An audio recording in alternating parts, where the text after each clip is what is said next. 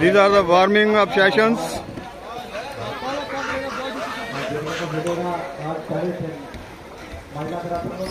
Body movement body movement पूरा एक साथ पैडल एक प्रैक्टिस कर लो प्रैक्टिस सेशन कर लो एक। बैक फॉरवर्ड बैक फॉरवर्ड दूसरी साइड को बैक ऐसे। ऐसे बैक यस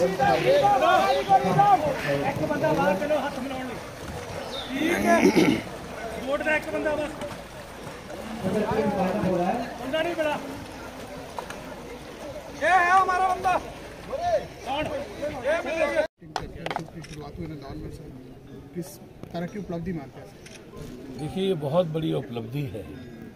आज रिवर राफ्टिंग के लिए एक लंबा स्ट्रेच बिकॉज़ रिवर राफ्टिंग का कितना लंबा स्ट्रेच होता है और कंडीशंस क्या होती है। बिकॉज़ आप जब कोई भी एडवेंचर स्पोर्ट्स करते हो तो उसमें रिस्क की परसेंटेज कितनी बड़ी है?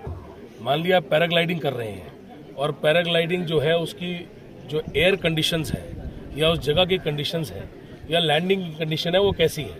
वैसे ही राफ्टिंग है, कि राफ्टिंग के लिए क्या कंडीशंस है?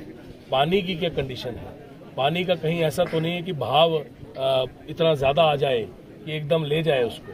और, या उसका बहाव इतना कम हो कि राफ्ट चल ना पाए, या वो कितना लंबा स्ट्रेच मिलता तो नदौन में जब पूरा का पूरा उसका सर्वे हुआ तो एक बेहतरीन स्ट्रेच मिला। और उस बेहतरीन स्ट्रेच को सोच के, क्योंकि हमारे यशस्वी मुख्यमंत्री ठाकुर सुखविंदर सिंह सुक्खू जी की सोच थी कि यहाँ पे हमने कोई बड़ी चीज़ डेवलप करनी है और उसी माध्यम से अलग अलग स्पोर्ट्स को मद्देनजर रखते हुए अपने यशस्वी मुख्यमंत्री ठाकुर सुखविंदर सिंह की बात को आगे बढ़ाते हुए टूरिज़्म ने रात दिन काम किया और एक चीज़ निकाली कि यहाँ पे एडवेंचर स्पोर्ट्स के अंदर राफ्टिंग जो है, वो बेहतरीन बड़े स्तर पे हो सकती है और बड़ी चैंपियनशिप यहाँ पे हो सकती है। आप नेशनल लेवल के लोगों को यहाँ पे ला सकते हैं, चैंपियनशिप करा सकते हैं और यहाँ पे उसके लिए आज उसका आगाज़ किया है।